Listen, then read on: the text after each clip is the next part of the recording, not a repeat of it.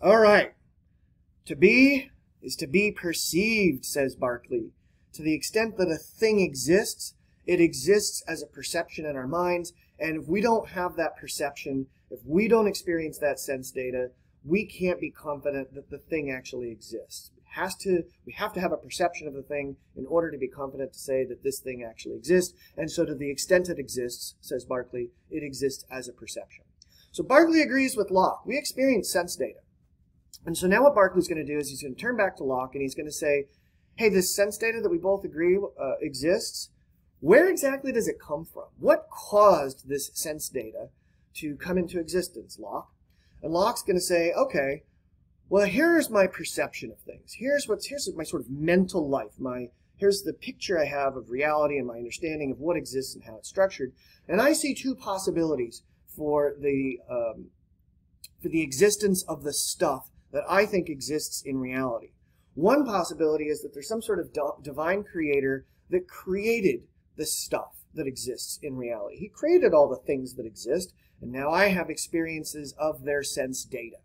And that creates my mental life. The other possibility is that there's just always been stuff that's existed, and it has over, not over time, for all time, um, for infinity, it has been causing other stuff to exist and causing events to happen. Okay, so Locke's going to say, I see these two possibilities for the creation of this stuff that I'm encountering right now. It's either the result of an infinite regression of events um, going back into infinity, or it's the result of having some divine creator having put it there for me to have these sense experiences of. Now, Berkeley's going to come forward and say, dude, you admit you can't prove that this stuff actually exists. You've admitted that the only thing you can ever really be confident you know are your ideas of things. So let's shave off a part of your um, understanding of reality Locke, and let's just eliminate the out there part. Okay? Let's just cut that out. And instead of saying our sense data must be coming from stuff that was created or stuff that's already always existed, why don't we just say that the sense data is getting piped directly into us by this divine creator, which is what Berkeley wants to believe, or that it's sense data that has always existed and you can trace back to an infinite regression of causes, and now it's just, I've encountered it, okay? So what Berkeley does with Ockham's razor is he, he cuts out the world out there. He says, I'm not denying that there's a possibility it exists. I'm just saying that in keeping with Ockham's razor, these two possibilities both explain why I'm having the mental experience that I am of sense data, but this one requires fewer assumptions. I don't have to assume that there's a physical world out there, and this eliminates your problem Locke. You've admitted you can't really get at the essence of substance and stuff. So let's just cut it out of our metaphysics. Okay? Now, what Berkeley's done here is he's created uh, what we would call idealism.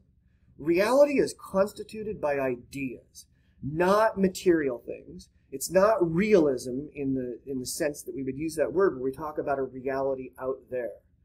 Reality is constituted by ideas. It would, it would be sort of like being plugged into the matrix, except matrix exists in physical reality. Um, but what Berkeley's saying is we don't know that anything physical exists. If it's it, it if, if God is what created the sense data that's getting piped directly into me, God would be a non-physical being. And if it's infinite, if it's an infinite series of sense data going back into time, that would also be non-material. So reality is not constituted by physical things; it's constituted by uh, ideas. Okay, so this is I, Berkeley's idealism. And this kind of flips Locke's understanding of the structure of reality on its head. Remember, Locke is saying, you know, there's this reality out here we experience sense data from this reality out here it, that the stuff causes, right? That's the important point. The stuff causes us to have some sort of awareness of it, and that creates our picture of reality. And that picture of reality is really just kind of a representation of the way that things are. We don't directly experience reality, we just experience sense data that's associated with reality, Locke says. But Berkeley's flipping that, and he's saying, no, that's not, that's not the right way. Flip it around this representation that we have in our mind, this, this sum total collection of perceptions that we have, that's reality. Perception is reality. Okay? Now, there's a problem, though, here.